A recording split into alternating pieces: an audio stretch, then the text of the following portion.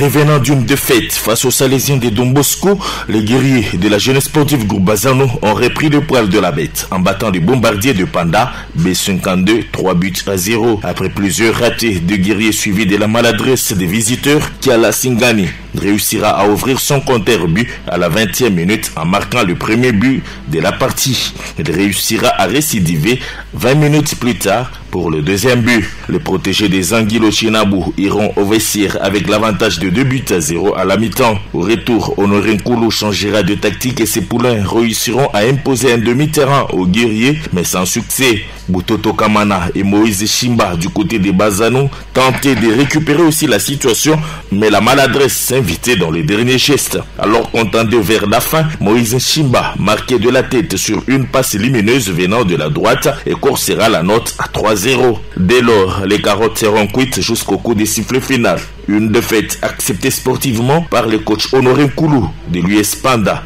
Vous savez, à l'impossible, nul n'est tenu. Nous avons presque 8 joueurs titulaires qui sont blessés. On a mis des remplaçants. Ils n'étaient pas à la hauteur euh, du match. Nous acceptons. Euh, c'est un mauvais résultat. C'est un mauvais résultat. En seconde période, on a essayé un peu de jouer et on a pêché à la finition. C'est un problème des temps de jeu. Un problème des temps de jeu. Ils étaient presque. La moitié, c'était des remplaçants. Tous les titulaires sont blessés. Et en fini la phase aller, quel est le bilan qu'il tire avec son équipe? C'est un, bilan négatif. Un bilan négatif, nous finissons avec 8 sur, euh, sur 27. C'est vraiment médiocre. La moisson est vraiment très très médiocre. Nous osons croire que s'il y a phase de retour, hein, on aura le temps d'aménager. Et pourquoi pas de, de recruter aussi en mi-saison, en janvier. Mais on est obligé d'étoffer l'effectif. De son côté, Zangilo Chinabu retrouvait les sourires aux lèvres après cette victoire et se disait satisfait. Du mal parce que vous savez, nous avons fait un mauvais remplacement.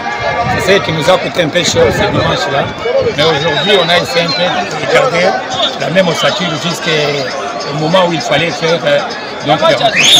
Bon, je pense que le match fait, donc c'est comme dans la vie, on a les hauts et les bas.